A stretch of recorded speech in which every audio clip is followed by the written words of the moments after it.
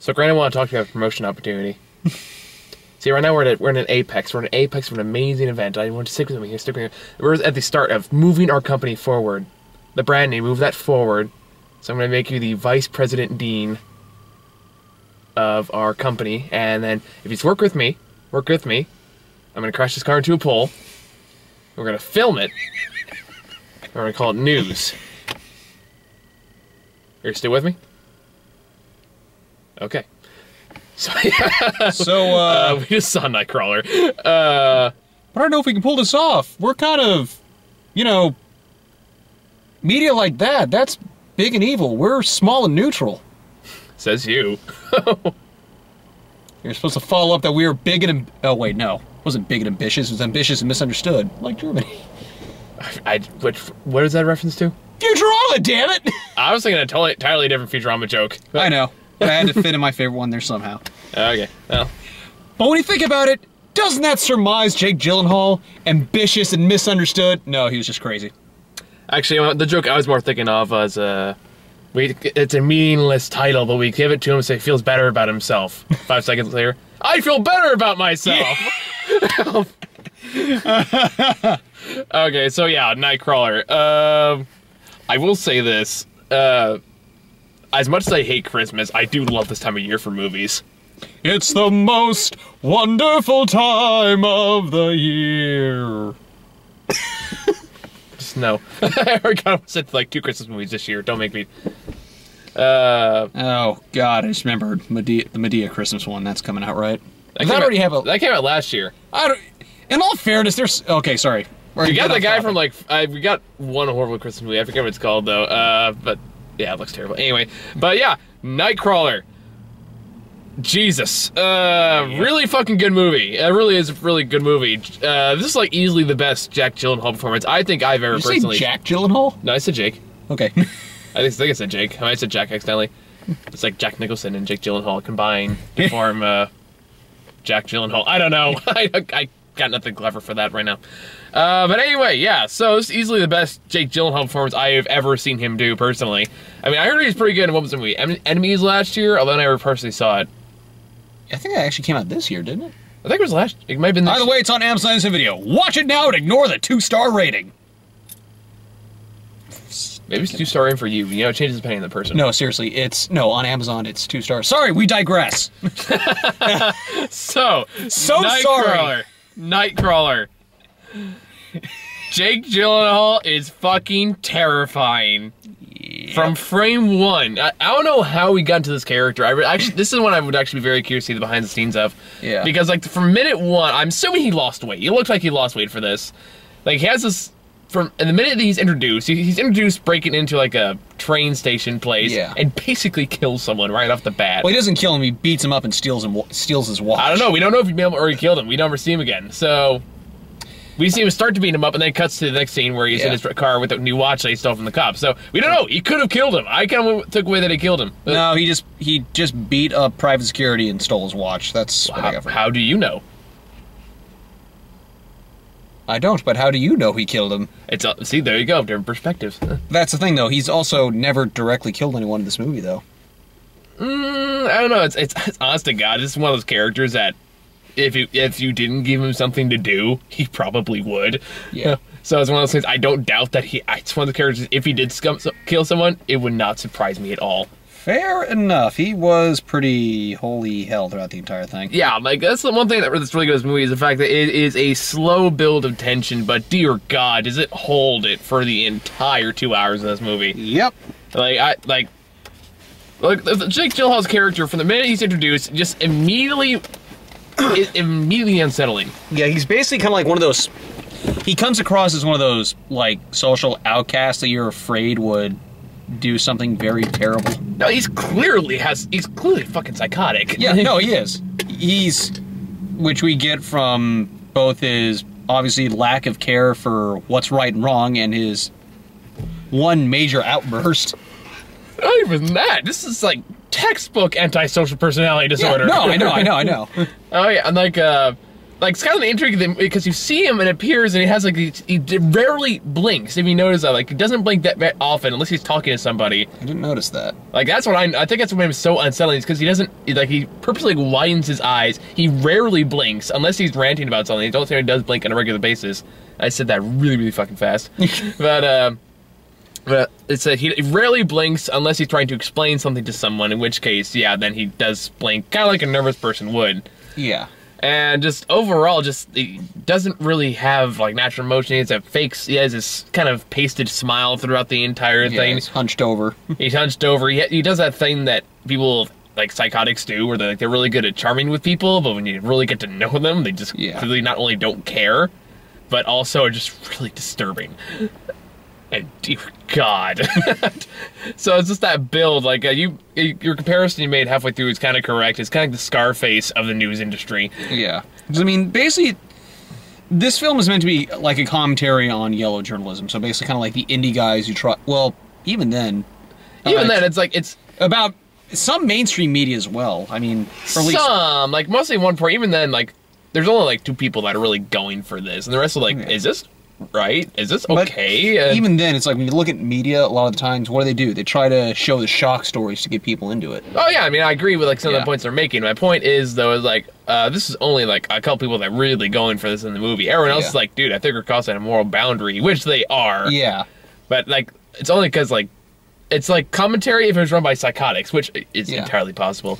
But uh But I Like the mean, whole yeah. movie is like it stars Jake Gyllenhaal, who is this really, like I said, antisocial, clearly psychotic person out person person, and uh, he doesn't really know what to do himself. He's trying to like he steals stuff and he sells it to other people to get money, and he's uh, constantly trying to negotiate, trying to try to sell himself as a worker for somebody. But as one person says in the right beginning, I'm not hiring a fucking thief Yeah. so he can't find a job, but one day he's driving back and he comes across a car that's on fire on the freeway. Or is it on a bridge? I think it was on a bridge. But it was uh, an overpass. So overpass. Either way. Uh, then he pulls over not to help, just to watch. Yeah. Which just again goes back into just how fucking disturbing this character is. And like it is a genuinely really good character. Like if you did not know this was uh, Jack, uh, I said Jack again, didn't I? Yeah, you Jake. did. Okay, that time I caught myself. Uh, Jake Gyllenhaal, like you would not fucking recognize him. He's that good in this movie. Like you did not see him at all. Like Prince of Persia, that's out of my head now. uh, but and then while he's doing that, while he's kind of just watching the these two police officers save this woman from the car, you notice these uh, news people like and it's like Yeah. indie uh, footage. I don't know what you yeah, call them. night crawlers. Night crawlers. Oh, that's actually the term for 'em? Yeah, that's what he. That's what the guy said. It's like uh, he, uh, the guy played, or one of those news, those said guys played by Bill Paxton. So I'm guessing this is what his career took after Twister. Yeah, You know what? Recording Twister's a bit too dangerous. yeah, Let's go to Yeah. violence in L.A. This was L.A., right?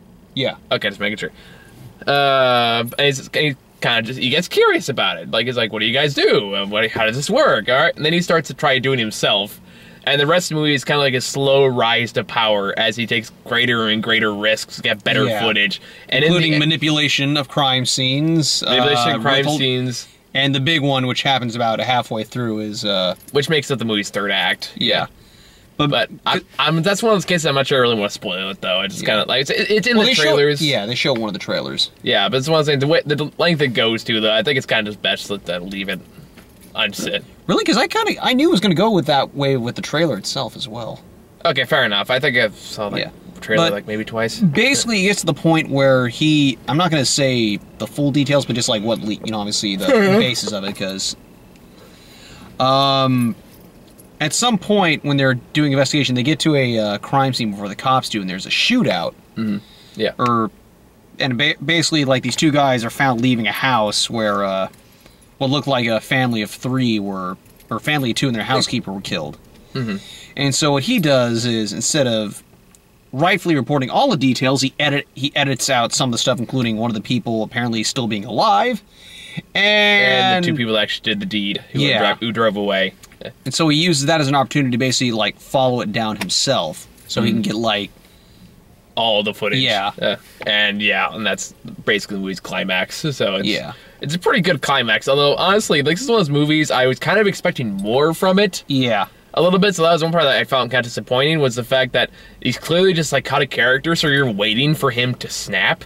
Yeah, And there's it- only like one moment where Like one does. very brief moment, and even then, like that's that's about it. And I thought that was kind of disappointing, but Yeah. at the same time, it still fits with the themes of the movie. Yeah. Although when you think about it, the fact that he, it was only that one outburst, I think, kind of made it a little bit more terrifying, especially like at the end of that climax, which mm-hmm. that I'm not going to spoil. Yeah, I know. Leave that. alone. Where basically just you realize how far he will go and just like how terrible of a person he is. like see i like from screen like again from frame one like i knew he was that kind of Yeah. person so i was one of things didn't necessarily surprise me it's more Yeah. just watching the No, it's like- slow descend as it became more and more evident Yeah, pretty much. i mean, like, I mean, I mean, we all knew he was going to be a terrible person, but it's just admittedly, it's just like I kind of knew. I didn't know how it was going to happen, but it's just when they got to the part that led to the ultimate of what the hellery. mhm. It's like there's that moment where he just gives a look. It's just like, oh, this isn't going to end well.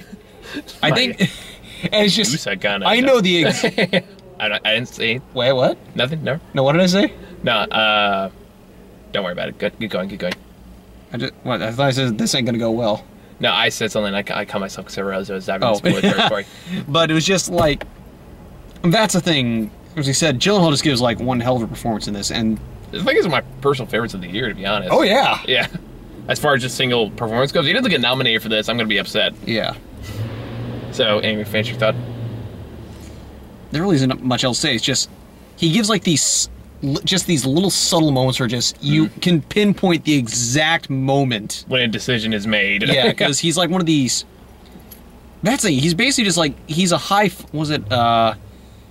high functioning sociopath. Yeah, that's what I was gonna say. I was like, it's like Sherlock, Sherlock, Sherlock. There we go. Yep, yep. Because I mean, this guy thinks quick. He makes very, very. He's just very logical in the way he processes things. yeah, but he knows how people work enough to Yeah. manipulate him. Not necessarily to understand it, but enough to Yeah. manipulate him, which is a very common trait amongst like antisocial people. Because as he said, he does. It's not that he doesn't understand people; he just hates them. Yep. So again, even that, he said that with a fucking smirk on his face. yeah. it's like, dear God, this guy's gonna murder me. yep. Oof. It's like imagine just like, Yeah, we were. you look like Jake Gyllenhaal, you can do the face. Okay, now this looks like a derp face. Sorry. Pressure's on, Grant. Come on. Better, but you look like you're trying to seduce the camera. Now you're like trying to seduce me. That's better. Okay, now you're starting to give me the creeps. Okay. Call me. Anyway. um, so yeah, this is one of those movies that's kind of hard to talk about without Yeah. going too much into the storylines, and you, it's one of those movies you should go see it Yeah. because this got beat up by Ouija, which I'm not surprised to be honest, because It was past Halloween. I'm just saying Ouija had much better marketing than this movie did. Like, That is true. it's, it's like if we were if we weren't movie nerds, we could have very easily missed this. Still very ticked. It also beat out John Wick. At least John Wick still had a good audience. Huh. Yeah, but it still got beat out by Ouija. We know better, man. We don't have to follow the example. That means Yes, the by- Ouija review's probably going to come in soon, so we probably won't help with the statistic. Uh, just like we didn't help with frickin' Transformers 4. Well, at least Michael Bay's not directing the next one. Oh, God, he's directing a movie about Benghazi. You heard about that, right? I didn't hear about the Benghazi part. But That is why he's not directing this movie. He's because he's directing a movie about Benghazi. And the moment I saw that, I never thought I'd say this. I said, "Get back on Transformers, please." that should be fun. Oh God. So yeah, Nightcrawler. Uh, this is gonna be a really short review. Like, basically, what it's saying about it's like, go see this fucking movie. Yeah. It's really good. Yeah, the only other things we can mention is like the other major players. There's um There's Nina, who is like the older uh, news executive who Yeah. buys a lot of Jake Gyllenhaal's footage, yeah. and uh, Lou is uh, Jake Yeah. Gyllenhaal's character's name is Lou in this. Yeah, and then the other guy His- who becomes his partner who basically. is still a little scrup a little bit scrupulous, but he clearly has way better morals. Because he's a guy that just like when he realizes how terrible things get, it's just like No, Okay, yeah. wrong. it's like okay, you know what? It's like yeah, it's like screw the title, screw the money. I don't want to do this, and then that's when Gyllenhaal is less than or is less than subtle. Yeah. Hence the I don't understand people. I just or it's not that I don't understand. I don't like them, and if you don't do what we agreed upon, I could hurt you. The best comparison I could think of to Jake Gyllenhaal in this movie is Christian Bale in American Psycho. You don't see it? Kinda. Really? Because I kind of said like the quiet, passive outer exterior mixed in with the Well, incredibly violent. Uh, Well, he he himself isn't incredibly violent. That's true, but thing. the personality type is there. Yeah, no, definitely, I agree with that. Although also I can't help because I remember Christian Bale being really over the top in that movie. That's it's a pretty solid performance. Watch it again. But- No, I mean, no, I mean that in a good way. Oh, okay. But I'm just yeah. saying because like that fit in with the theme. But sorry, we digress. Yeah. Um, and it's just interesting seeing like these boundaries that people cross. Like Nina basically, horse herself out. Yeah. For lack of a better term. Well, I'm sure I can find a better term, but that's really the most apt one you're gonna know Yeah. right away what we're talking about. because you know, once again, it kind of fits into the way Gyllenhaal or Lou analyzes people. Mm-hmm. It's like he right from the. It's like when he gets the chance, he basically tries to Get everything he can Yeah. out of it. Yeah. by you know talking about like look you have short contracts your station's the worst in the in the state or the city blah blah blah blah it's just like it goes from her being like a little bit against it to just full out embracing it because just like don't care anymore money Pretty much. I mean, everyone kind of sells himself out in this movie. Even like uh, uh, Lou's sidekick, basically, kind of sells himself out. Yeah. He's also kind of there to be the comic uh, comic relief. yeah A little bit like, uh, oh god sorry i'm just remembering the part where you know he finally gets his na- needless title oh yeah, Yeah. And it's just, Yeah. What do you, I'm like? Does that mean I get a raise? It's like, pick a number. Yeah. Pick a nu- well, uh, uh, seventy-five. Done. It's like I, I could have gotten more, could I? Yes. yes you could have yeah just like, it's like negotiations over I could have gotten more, couldn't I? Yes, you could have. And that the funny thing is, like, despite Gyllenhaal being an absolute creepo in this movie, he still gets some really good laughs. I don't know. For me, like most people are Like, laughing. like I- said moment. Yeah, like there are a couple of good parts here and then. Even then, there's always just an uncomfortableness. Yeah. To laughs, like even the jokes that are there, like if you and like one other guy in the front were laughing your ass off. I was sitting there like, Which one was it again? Oh, now remember. You know this? It's like the way I see it. If I show up, I'm there for the. You're probably having the worst day of your life.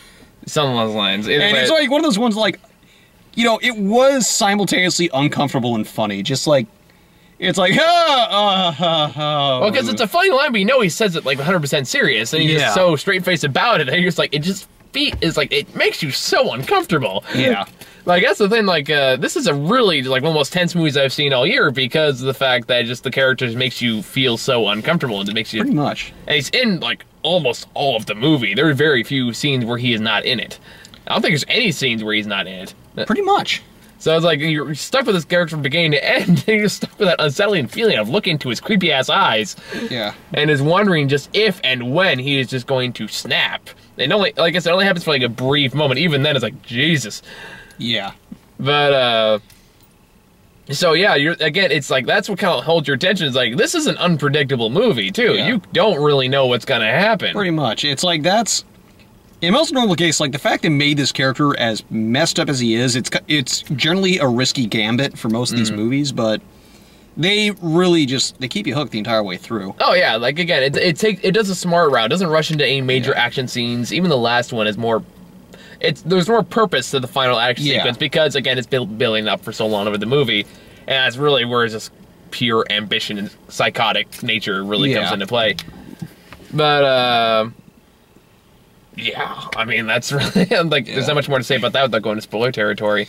But Yeah, I'd say, yeah, because there really isn't much that we didn't like about this movie. I'd no, say. like the only thing that really there's a couple parts that bugged me. It's kind of a nitpick, I will admit. the music choices. Some of the like- music choices were kind of bizarre. Like there's a Yeah. part where uh, Nina and Lou are walking in the station together, and this is like after he started selling her clips, and they Yeah. just kind of get to know each other. And uh, this weird like Steven Spielberg music Yeah. was playing, and uh, he's talking about this long uh, ra- uh, speech about making a business plan, learning stuff online, his educational Yeah. background, stuff like that. And then the scene ends with him taking a seat in like the reporter chair, as if that's what he wants to be. Then he says like five scenes later that that's not what he wants. So it's like Yeah. that one was kind of that's like that's an interesting and kind of pointless scene. Um, Yeah. I mean, Not like the really, I educational stuff was important. But I mean, like we're sitting in the chair Yeah. and stuff like that. I mean, that's supposed to be foreshadowing, but it doesn't really foreshadow to much except that he wants Yeah. more. and I think, and that's I think actually I think that kind of fits in measure. Then, like at the beginning, like maybe he was considering that, but then it's just like he kind of realizes Maybe. No, as you said, he wants more, and it's like, as you said, it's like it's not the. uh as you said, it's like he didn't want to be in the chair. He wanted to be the guy owning the station, you know, with the camera Mm-hmm. and all that. So, So it's just like, or maybe it's just the idea that you know, what do we see when we see like the epitome of power in a news station? The anchors. yeah. But of course, he, does, he doesn't want to be on camera. He wants everyone else to be on camera. He's Yeah. like uh, he's the behind the she- scenes, behind the scenes guy. Yes, that's Jake Behind the- Gyllenhaal. oh god. Behind the scenes, aka uh, TMZ coverage of Charlie. Which one was Charlie? Charlie Sheen. I was going with Sean Connery, but uh, Well, I was just saying, you know, behind the scenes, that does sound like something they would do. different perspectives again. t- Yep. took that in two totally different directions, but yeah. Shirley Brown. Anyway, um, yeah, like again, that's this is really gonna be a really short review because all all I really have to say about this are good things, except for like a couple of the music Yeah. choices were Oh. a little bit distracting. Yeah. Also, I will say the final, well, not, I'd say the penultimate final moment, mm. like at the end of the climax, or it's at the end of the climactic scenes, like, something about it felt a li- I think it was a little campy. It was a mostly because of the music, because this plans like Yeah. angelic choir and this what should And, be like- kind of dark, disturbing scene.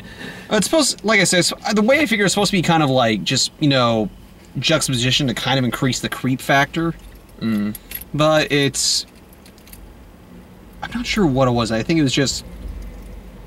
It's hard to describe what it, what it was about it that just didn't feel right. Like maybe it was the music, maybe just the way that they were talking. I think um, I think the problem I had with it, or like kind of I know what you're thinking is along lines. I think it just would have been better if it was left unsaid. Yes. I think it's I think uh, it's more Yeah. like like I think if it directly says what it's going for rather than Yeah. leaving it ambiguous kind of up to interpretation. Like Yeah. it's what it should have done, even though I it's think- kind of obvious what he was doing anyway. also I think just maybe they just, even if they just left it with like Gyllenhaal saying his piece, I think that would have been fine. I don't think they should have said anything at all. I think they should cut that whole little speech out. Yeah. Uh, That Like- would that would be the best. I would thought that would have been better because then there's like that's leaves it for the audience to figure out themselves, which makes you know doesn't Yeah. underestimate your audience, which is I think what it does. that definitely is the problem. I think then yeah, like yeah, actually yeah, I'd say that probably does hit it on the head. yeah. So woot, I'm right about something. uh, That's okay. I'm still right about 22 and 21 Jump Street. You get you have one thing, one thing you're right about. two. well, no. In all fairness, your expectations went up after the second one, so Yeah. So haha. yeah. All right. We're tied. oh, I can't lord it over you anymore.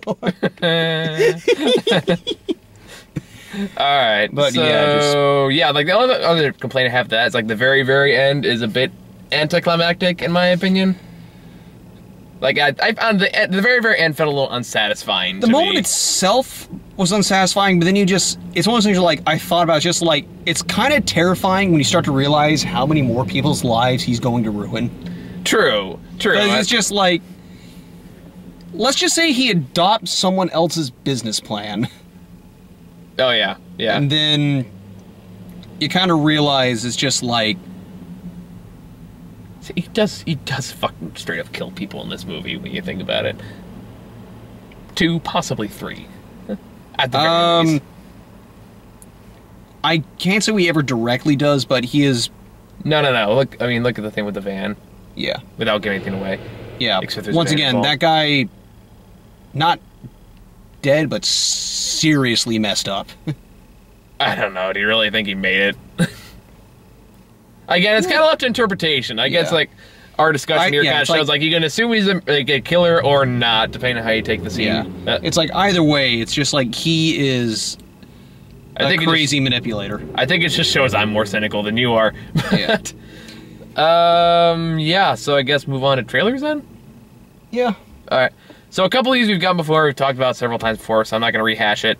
Uh, we did get a couple new ones though. We got Inherent Voice. What was that one? Vice. Vice. That's the uh, new Paul uh, Thomas Anderson movie. The one. Uh, Okay, I always get the Paul Andersons mixed up. Which one is he? Paul Thomas Anderson is the good one. Paul W. S. Anderson is the guy who made the crappy Resident Evil movies.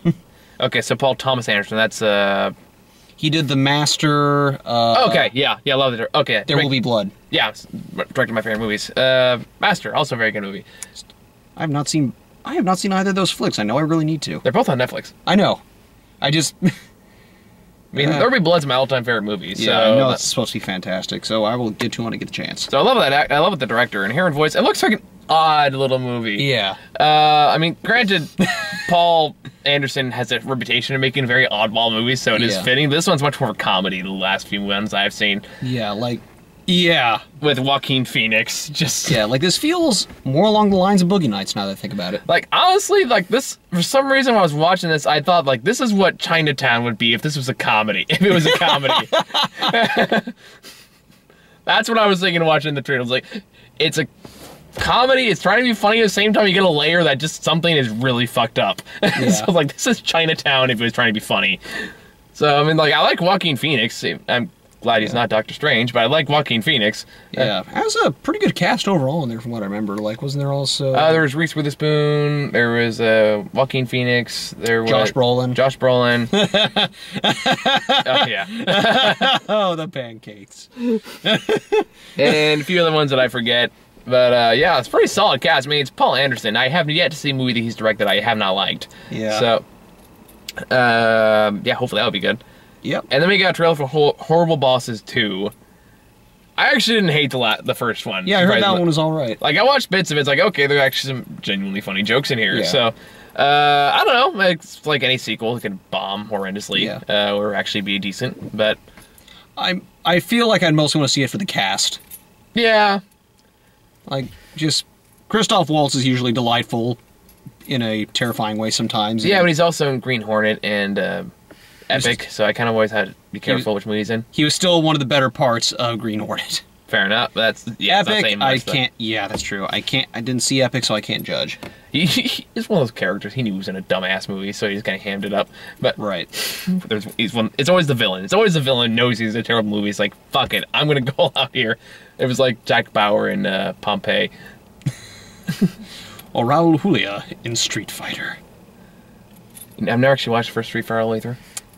I will show it to you at some point. At some point, we'll get into that. Um, but yeah.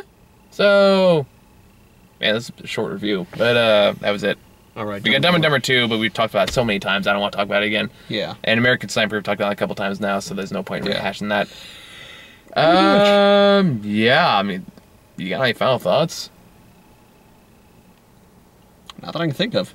Oh, damn, okay. I mean, it's just. I think we said everything we need to. It's just a really damn well-made film. Yeah, go see it. Uh, like, I mean, this one's movies where you don't talk about spoilers. That's saying a Yeah. lot. So, It's just great, like great, you know, like anti-hero analysis and just I don't know if I think anti-hero is a bit of a strong word. Uh, like, I don't think you're ever really supposed to like him. Uh, well, of course, well, technically speaking, anti-hero is considered, you know, the protag is considered the protagonist uh, who's not of the traditional hero means, and he is, by all for all intents and purposes, the protagonist, even though he's not a good person. well, if you're being that, if you're going to be that guy about it, then I suppose so, yeah. Yeah. um, and just as I said, does kind of a good little analysis, of, or just kind of commentary on media politics as well. As well as kind of like what it seems like what it's going for, and just how like it's less about. Boo. Can't talk right now. Use your words. Yeah. Use your words. It's less about integrity, more about sensationalizing and ratings, and just trying to basically find flavor in tragedy without real care. Yeah, that's a good way of putting it. So, um, what he said. I mean, that's a pretty solid way to sum it up. Yeah. So Nightcrawler, go see it. Uh, we actually got a few good movies out this week, or hopefully good movies. I, Birdman's finally playing in Santana Row, and I really want to go see that. So I'm gonna try to see if I can drag someone over there. Not gonna lie, I was really wishing that it was gonna be, you know, Birdman. And this one's probably gonna be better. I know, or like that. That's the kind they were gonna allude to. Um, also, Big Hero Six. Oh yeah, it was, uh, that's not coming until Friday though, so we're not doing that this week. But Oh, yeah, so we got that's so Big Hero Six Interstellar. That's next week. Uh, this week we got uh, Birdman. We got Horns, which is playing here uh, at this theater, and we probably should check out Ouija. Ouija. But I don't really want to, so that's one of those ones I'm willing to skip. But yeah. Let's. I, I'd rather go see Saint Vincent. That's what that was the other one I oh, wanted to go yeah. see. Yeah. So it's like we'll probably go see that one instead because because because fuck Ouija. I don't give a shit about this stupid board game bullshit. Uh, I heard rumors. I think there's a that's probably a, probably was a joke, but uh, a Ouija two. not a Ouija two, but uh, sorry, I was checking my I got an email, so I was Yeah. checking schedule stuff. Reminds me, when's that Monopoly movie gonna come out? Yeah, that's that was a rumor I heard about with like Monopoly movie directed by who was it? Ridley Scott. That was it. That was you know, you know what? I would go fucking see it. It was Yeah. Ridley Scott, considering the crazy stuff he's made related, like Yeah. Noah and now Exodus. No, Noah was. uh Oh, I'm sorry. No, no, he didn't direct Noah. Uh, he directed. He did direct Exodus, though. Darren Aronofsky. There we go. Yeah. So, yeah, whatever that's gonna be, it's gonna be fantastic for the wrong reasons. Yeah. Well, I think he stepped down. He's just producing it. Oh, well, now I'm all sad. We will see. Now I'm just sad. Get Michael Bay to direct Monopoly. Bankrupt. Boo! I landed on go. There's no getting a Geo card here, kid. you sunk my battleship. Oh God! He's about to let. Liam Neeson No, shows the fuck what's uh there. was the uh, last one? Boardwalk. Is it Boardwalk Empire or Boardwalk, Boardwalk Avenue? Empire? Yeah. So it was Boardwalk Empire. You mean the the TV show? No, the the place was it Boardwalk Avenue? I have. I don't. uh, That's a game I don't play very often Yeah. because I don't want to hate my family. So Fair enough. well, time to beat you up and sell it on the news market. that's what the game. That's the movie. That's the movie should be. Is this a horror movie of everyone playing Monopoly? they all end up dead. Turns into a psychological thriller. I did not land on train track. You're such a dickwad. Yeah. Wait. None of us bought Baltic Avenue. Then who owns it? The bank? Oh yeah. Okay, we're just sticking around now. So, so I think we're done here. Bye. yeah. See ya. Now I want to talk about investment opportunity.